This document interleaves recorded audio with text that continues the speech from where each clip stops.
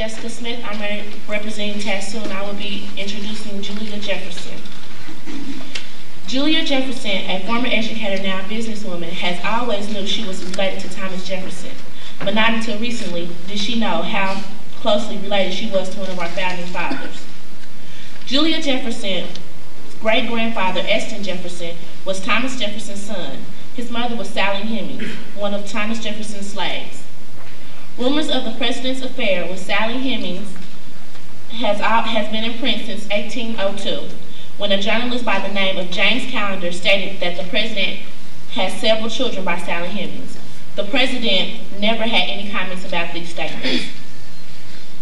Most of Jefferson's descendants and many historians have dismissed the idea of Jefferson's children with Sally Hemings until these, until these recent DNA tests that show rare genetic traces in Jefferson's family and the Hemings descendants. There is no proof that Hemings and Jefferson shared love, but their affair did last over 38 years. After Jefferson's death, Hemings' children were either set free or allowed to escape. Julie Jefferson's ancestor, Eston, settled in Wisconsin. With the new genetic findings, Jefferson hopes to be buried in the Jefferson's family cemetery. Julia Jefferson proudly says, I am Scottish, Irish, English, French, Welsh, and African. I am proud to present Miss Julie Jefferson.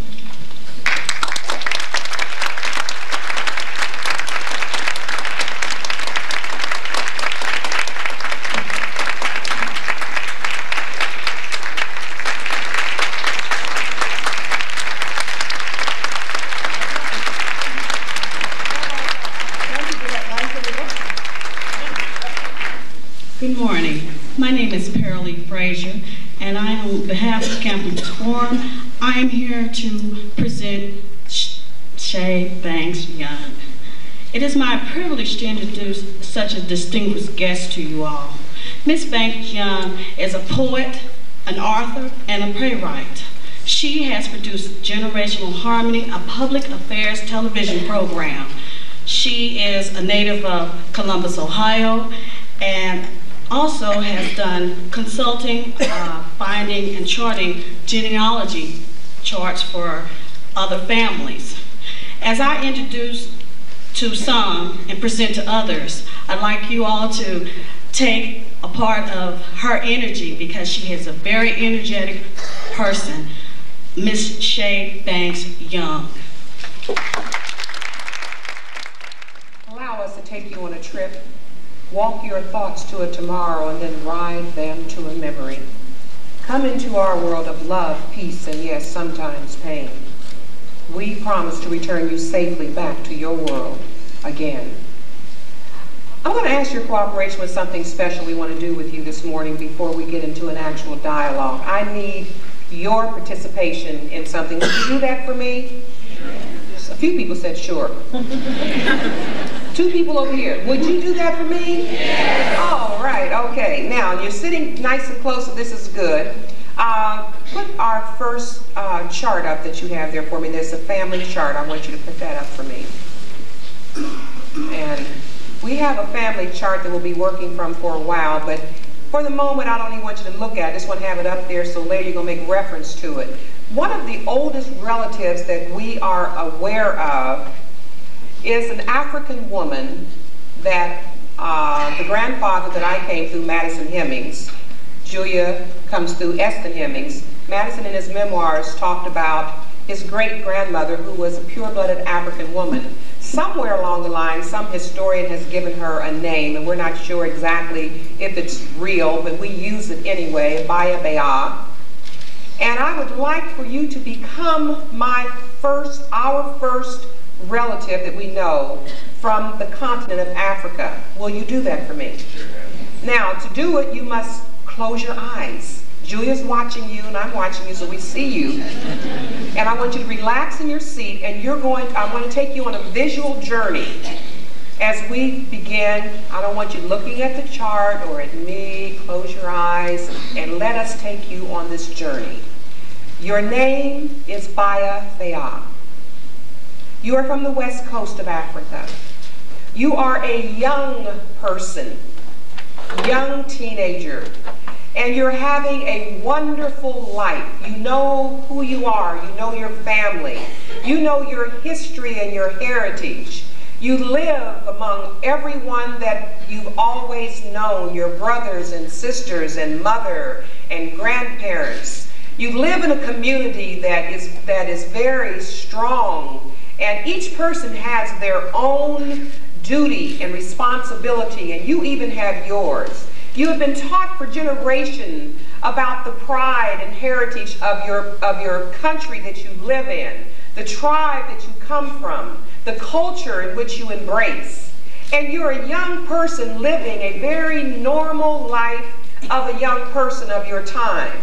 And on this particular day, as you wake up and you're moving around your village and your community and speaking with everyone and talking with everyone, you remember having heard rumors over the last weeks and months of some things that have been happening in your country. But as a young person, you know, we don't always keep that foremost in our mind, but there's been some things happening of a few people disappearing from time to time, and you've been warned to kind of be careful. But you're young and you don't really think that this could happen to me, and you, you have a wonderful day and you're doing great things, and you talk to your grandmother for a while, and you kind of leave your community for a while outside your village and you come back in only to hear loud noises and people screaming. And you're wondering what's going on, what's happening. And, and you hear people screaming loud and noises happening and they're running and, and you're wondering what's going on. And before you know it someone has hit you and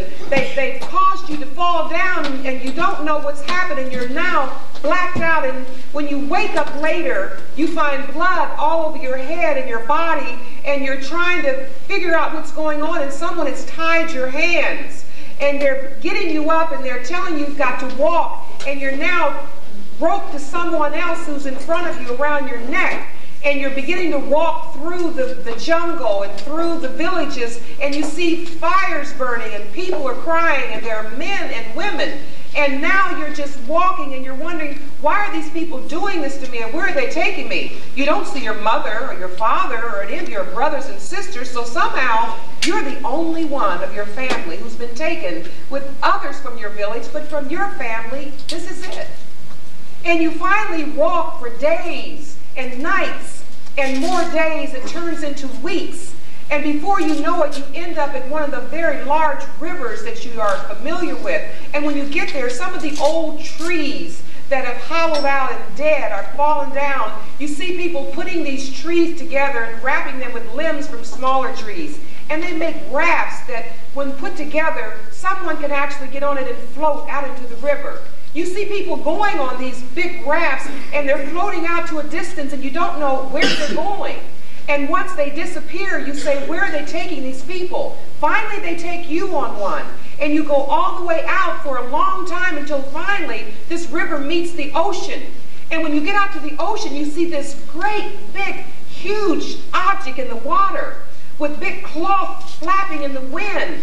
And you say, oh, what is this thing? And when you look up, there's these strange looking people standing on this object and you find out later they call it a ship. And these people don't look like anyone you've ever seen before. Their color is strange. Their hair is strange. They talk different. And they take you aboard this great big object and they untie you, but now they put you below in the lower level and they chain you to another person. And not only do they chain you now, they're putting you in small areas and you have to crawl in and you are chained to another person in spoon style fashion. Your foot is at their head and their head is at your foot. One person after the other, side by side by side, flat to each other. And above you there are people, and below you there are people. And you hear people crying and screaming, and you can, your vomit is coming on you now, and blood is on you, and feces and urine, and all types of body fluids. And you're absolutely sick to your stomach, and you're screaming, Mom, help me, someone get me out of here. And finally, you, you pass out only to look around when you wake up. It's not a nightmare, it's real.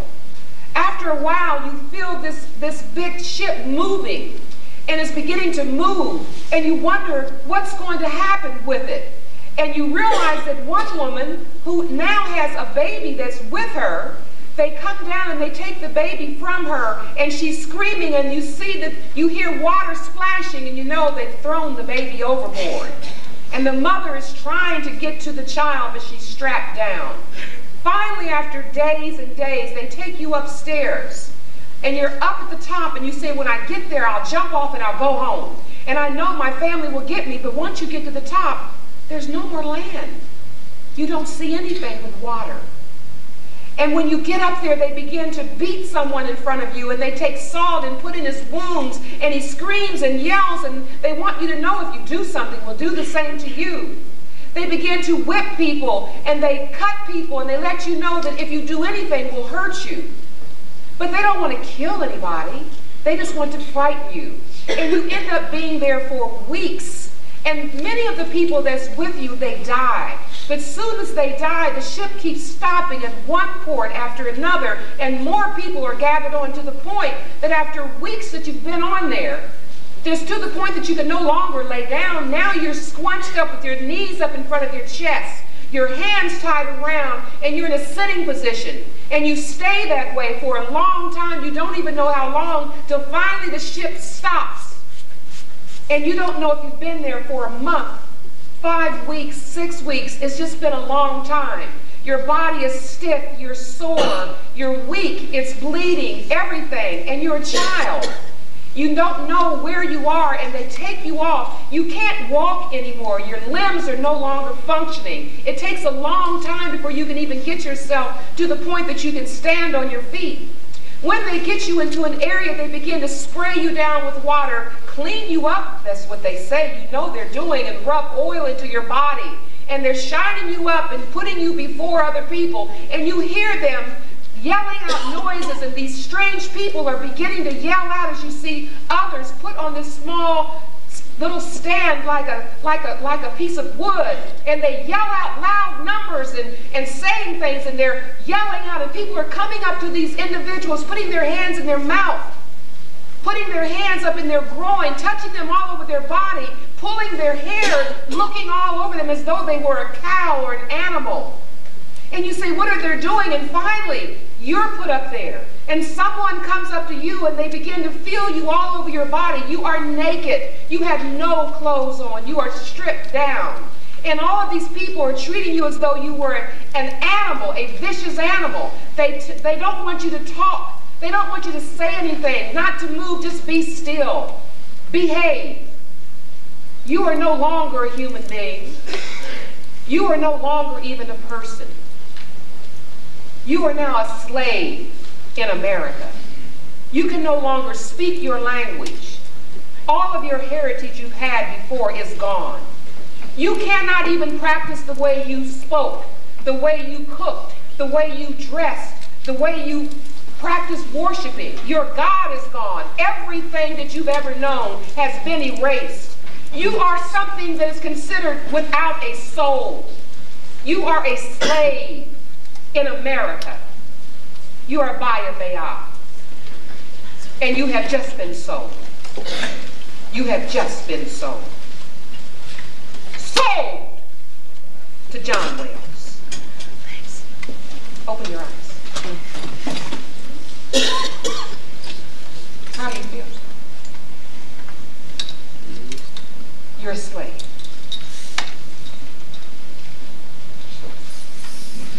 Well, it's hard for me to carry on after hearing that. Every time it, it seems worse to me because I can visualize it, and I know you can too. Baya Baya was our, I don't know how many greats grandmothers. And she was bought by a man named John Wayles. I will continue with the story as much as I know of it. We don't know exactly what happened to her, but we know what happened to slaves that got sold. Either got chained together and walked to the plantation many miles away, or they got thrown onto what they call a wagon and chained to that and drawn to the plantation. Well, she probably went that way in the wagon or whatever. She arrived, and what faced her was a lot of people that were dark-skinned, but she didn't know any of them. She didn't know any of their language, and you can imagine a young girl, and she must have been fairly young. Uh, with no mother, no, no tradition, nothing in this cabin. They slept in cabins, maybe 12 people at a time, in a, a space no bigger than 14 by 20. And then the following morning, the horn blows, and they have to get up before dawn. She's dragged out to a field and put to work.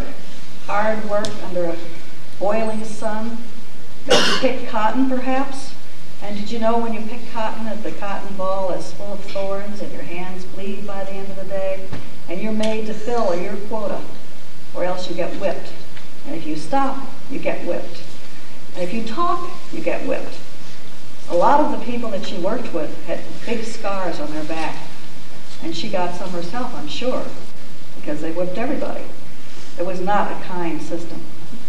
At any rate, um, one night, John Wayles had a guest named Captain John Hemings. They had a nice feast, nice dinner. Then afterwards, for a nice little dessert treat, he took John Hem Hemings out to the slave quarters and said, pick whoever you want for your bed partner. You can have her for the evening as my treat. This was common practice. And he looked around and he chose Baya Baya. She must have been beautiful, young, or whatever. For whatever reason he chose her, they did mate. And from that mating, he, after that happened, he left and got back on his ship and didn't return for a year. When he came back, there was Baya Baya with a baby, considerably lighter skinned than she was. And he asked John Wayles, is that my child? Or has she been with somebody else? And John Wayles said, no, that's your child. And uh, he said, well, I want to buy them both. I want to take them back to England because I don't know how this child will turn out. He was very curious, not because he loved Baya Baya, but because he had never, never seen a child of miscegenation, which was early in the process. But John Wayles was a curious man also, and he, he decided that he, he wanted to keep her. Then there was a rumor that was passed to John Wayles that Captain Hemings was going to steal this woman and the baby. So John took Baya Baya and a child who was named Betty, Betty Hemings, Elizabeth Hemings, into the house. And that probably changed the fate of our whole family. Because indeed, although house servants worked longer, 24-7, from sunup to sundown, and if anybody woke up during the night and they'd have to fan their, their masters and all, all the things, they didn't work as hard, sweating labor, being beaten and so forth. They were beaten in their own way. I mean, they were whipped if they weren't kept in order. But it changed their opportunities entirely. We also got a name. Yes, and she had her last name. That's where we got our name Hemings from. Um, John Wayles had married three times. Uh, his first wife had a, a, daughter named Martha, and Martha later married an up-and-coming young politician named Thomas Jefferson. After that, he married, she died, and he married two more times. After the third wife died, by then little Betty was a grown woman with six children of her own by another slave. Uh, we don't know how long Baya Bay lived or if she was around at that time, but at any, at any rate, John Hemings took her as his concubine and made her have six more children by him. Well, anyway, six more children because slaves were considered, considered to be breeding animals. The more slaves that one could produce, babies, of course, that made the men wealthier. At any rate, um, they lived together until John Wayles died. Now, his oldest daughter, Martha, inherited, after he died, 135 slaves, property, and about $100,000 in debt, which he took to Thomas Jefferson. So that's the way the Hemings arrived. Now, the youngest child of Betty is named Sally Hemings. And of course, we hear more about her later. They all came to Monticello and became house servants. Shay, do you want to continue? Oh, okay. Well, uh, it back. Uh, the, the children that came from uh, Betty Hemings, they were, and all the Hemings family came in as kind of uh, special servants because they were, after all, half brothers and sisters to uh, Martha Wells. Uh, you know, they they all had the same father. And also remember, Betty was probably almost like a mother to her because Martha Wells also didn't, her mother was dead by then. So you have your, your, your mammies around there. So the, the were always prominent within the plantation. Um, as it turned out, Thomas Jefferson, you me get a good story about Thomas Jefferson with his wife. And uh, Thomas mm -hmm. Jefferson uh, and Martha were married for quite a few years. Ten she, years. And she mm-hmm. had she had several children by him. But she was also a very weak woman, and her body did not hold up well. And Martha was one who lost some of the children she miscarried, and she had three children that actually lived through everything. But however, on her last uh, child that she had, she became very sick after that, and Martha actually died after giving birth to her last child. But before she died, she had her husband give a deathbed promise that he would never marry because she didn't want any children to come into the home of her with her children. And Thomas Jefferson evidently gave that promise to his wife. Uh, when Martha died, Young Sally evidently was by her side, as well as Betty Hemings and some of the others. And Thomas Jefferson was very distraught for a long time, and he really grieved over her. After a while, Thomas Jefferson uh, was offered a position. Uh, Ambassador to France, which uh, Ben Franklin had held before then. Mm -hmm. And he decided to accept it. He took his oldest daughter, Martha, to France with him. But while he was over there, his youngest daughter, Lucy, died of an illness. And the other daughter, Polly, was so distraught that Thomas Jefferson sent for her. Now, he, an older slave was supposed to accompany uh, the two, I mean the, the daughter, but instead Sally Hemings, for whatever reason, was sent, and she arrived in France. There she was trained along with Polly and the oldest daughter, Martha, in uh, French, and the ways of a handmaiden, a lady handmaiden. Many yards of fabric were or ordered for Sally and the girls, and she was dressed like them. And in France, she was free. Slavery was outlawed in France. So she was a servant there, and she even received wages for yes, her services. At any rate, at some time during the period, they were there about three years, uh, Thomas Jefferson took her as his concubine keep in mind, Sally was 14 when she went to France, and she was uh, about right. 16 by the time she was coming back. So you're talking about a girl aged 14 to 16. And he was 30? 44. 44. That's 46. Right. He was 44 when she got over there. Right.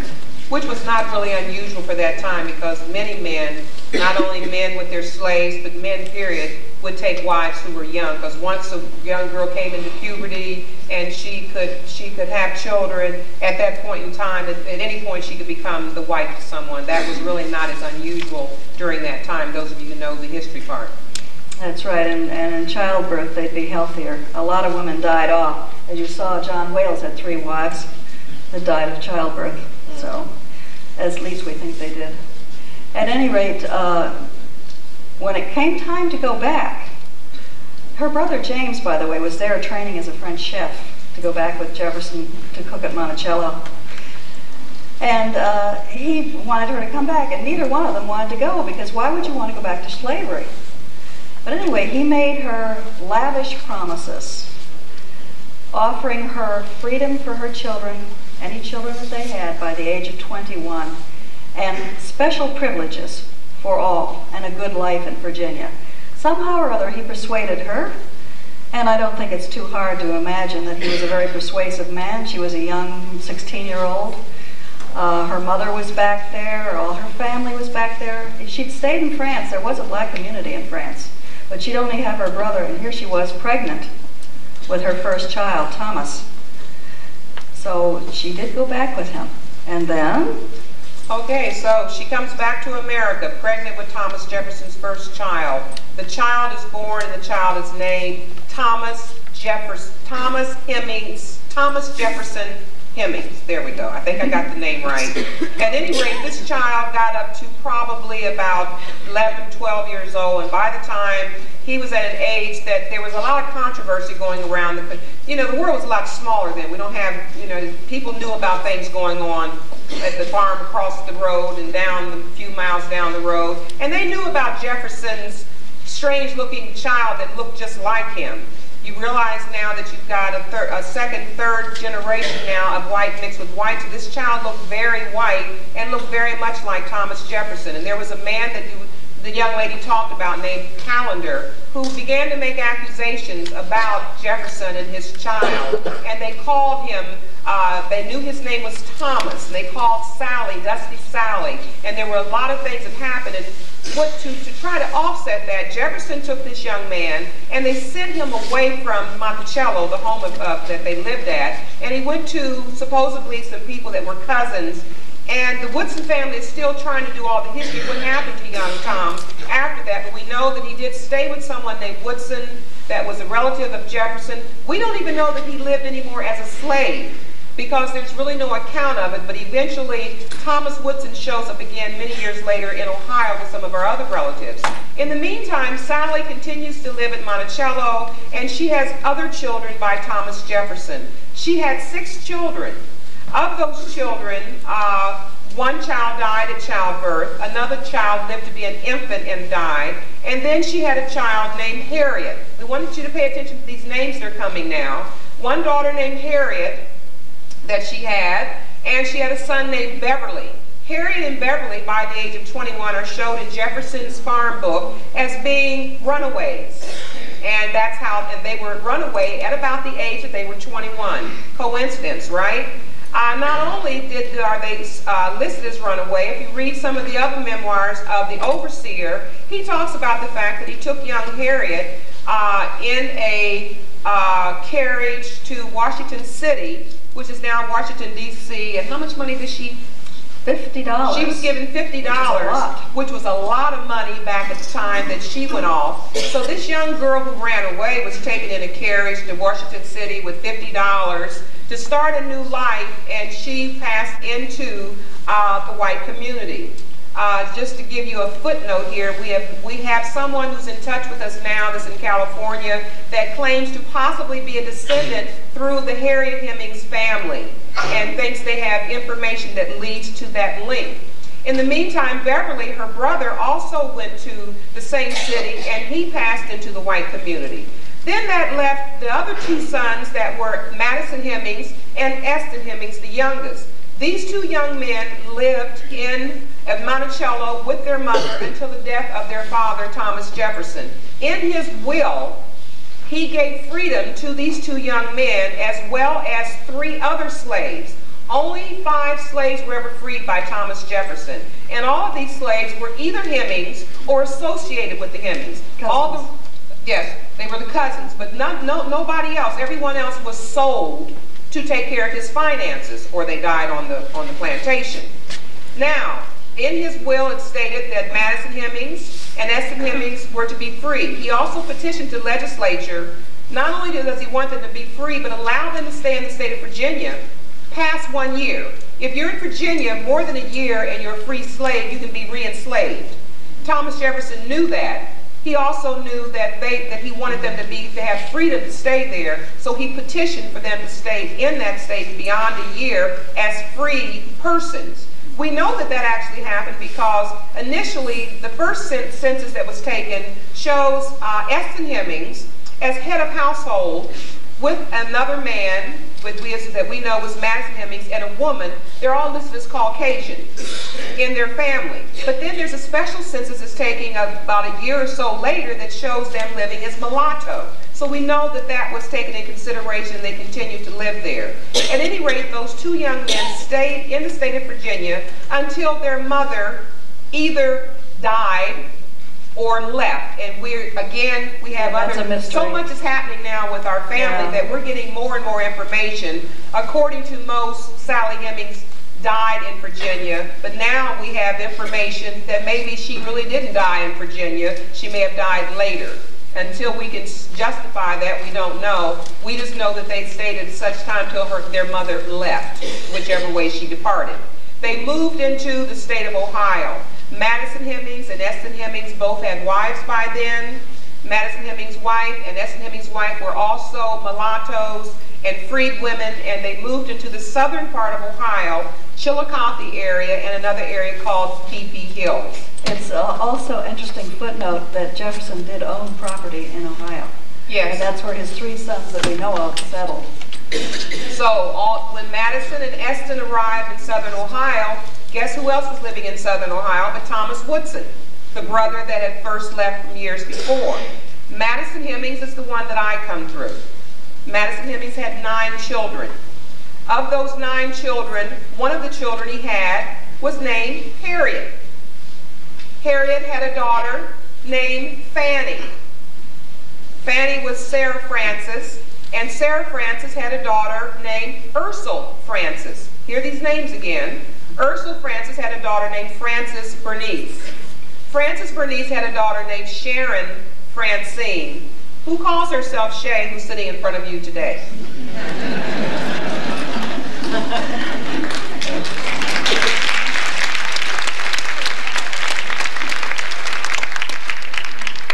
And Eston, the younger brother, had a son named Beverly. Beverly had a son named Carl, who had a son named William, who had a daughter named Julia, who was named after Beverly's wife. So the names do repeat themselves. Mm-hmm. I'll tell you a little bit about what those boys did. Let me Yeah. stop one second here, though. I bet you these people wonder, how the heck do they know they're related? Well, there you are. You wonder how, question. you ever wonder why, how we know that? Nobody wonders, they already know. Julie, this is a good group. This certainly is right up on things. Anyone brave enough to say you wonder how I know that? Oh, There's one person right down there, okay. If we, since, in, in space of time, since we've said those names, maybe we can show these pictures. Yes, that's a good idea. Along with doing this, so we can get you through this part. Now, I'm going to ask you a question, because I got you involved before. I met a gentleman earlier who was telling me about his grandmother, who's in her 90s. Does anyone here have a grandmother? Raise your hand. Does anyone here have a great grandmother alive? All righty. Now, some people might even have a great great. I don't know. Hands are down, but at least we got great greats. Okay. Now, what we're getting ready to show you, put that first picture up for us. I'm showing you how I know. My mother lived in a household with her mother and her grandmother. Those of you who have a grandmother. And my mother's great grandmother used to come and visit her. Okay? Now, those of you who have a great grandmother. Now, can you imagine those of you who have a grandmother and a great grandmother telling your grandmother you could not possibly remember who your grandparents are? Could you tell your grandmother that without her knocking you into the next century? you couldn't do that, right? My mother used to describe her great grandmother. She said, Grandma Spears looked like a shriveled, looked like a little shriveled up white lady. And since I never had a picture of Grandma Spears, I didn't know what she was talking about. Well, Harriet Hemings Butler Spears was my mother's great grandmother who visited my mother's home. So you have these three, four generations of family together. Harriet Hemings Butler Spears was Thomas Jefferson and Sally Hemings' granddaughter. She was the daughter of Madison Hemings. Now, do I need to tell you why and how I know who I am? If Grandma Spears was alive and well and my mother knew her, our oral history is a fact. It is a fact. I don't need even DNA to tell me who I am because Bernice proves that. So who, what you have in front of you now is Thomas Jefferson's granddaughter, Sally Hemings' granddaughter. And next to her is the grandson, her cousin, Beverly Jefferson. The way that happened was, not Beverly Hemings, is that Eston, when he had three teenage children in Ohio, he was very near Madison, he was a fiddle player and had a band and went all over the, the neighborhood with all the people and so forth. But he decided and made the heart-wrenching decision with his wife Julia that they would move on and pass into the white community to give their children more opportunities, I imagine. But at any rate, they moved off to Wisconsin, never to return to Ohio. It must have been really a wrench for them, leaving everything they knew and going into this strange world. Uh, so much so that Eston died four years after that, at the age of 48, and I don't, I suspect that that may have had something to do with it. At any rate, he had this son named Beverly, and, and Julia, for whom I'm named, and there's his picture. now. the thing is, I didn't know because the only thing in his obituary in, in uh, Madison, Wisconsin, it said, this man was the grandson of Thomas Jefferson. Well, I thought it was a misprint because my family covered up the fact that we had any African American roots whatsoever. We were supposed to be related to Jefferson's uncle Peter, and his father's name was Peter, so they didn't even get that right.